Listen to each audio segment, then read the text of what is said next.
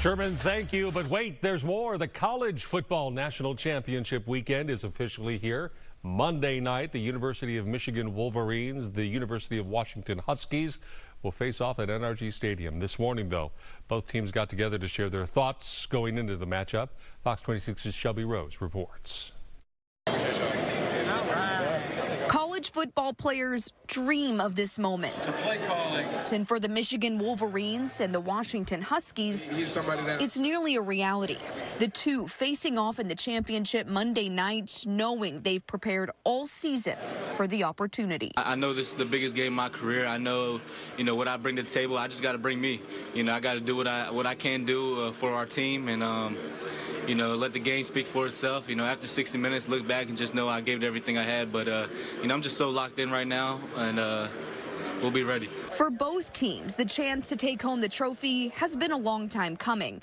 Michigan hasn't seen a championship since 1997, and even longer for Washington, 1991. So staying grounded going into this matchup has been all the more important. Knowing that it's just another game for us, you know, obviously we're playing for something huge, you know, the biggest in college football right now, you know, so um, just making sure the guys just understand, you know, just don't make the game bigger than what it is, you know, and just uh, go out there and have fun, you know, and that's what it's uh, that's what it's going to be about, going out there having fun, and you know, obviously um, we got to execute at a high level, you know, because we're playing a good team, and uh, we got to make sure that we come come ready to play. They're uh, focused on this championship and not getting ahead of themselves and understanding that the work is the work.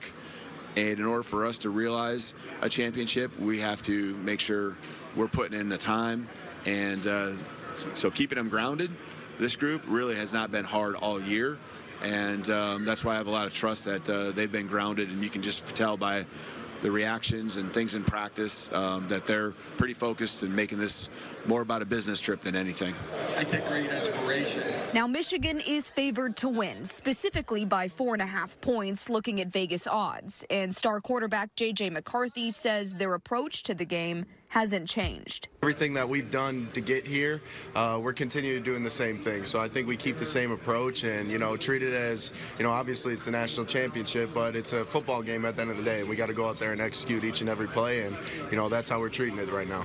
But head coach Jim Harbaugh knows it won't be an easy win handing over some credit to the Huskies. Washington's a thorough team. Let me say that. You know, offense, defense, special teams, and and so are we you know, the evidence is there.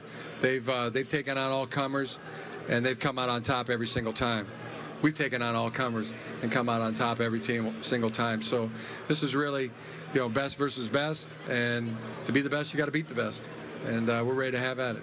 And the two will face off here in Houston at 6:30 inside NRG Stadium. Shelby Rose, Fox 26 News.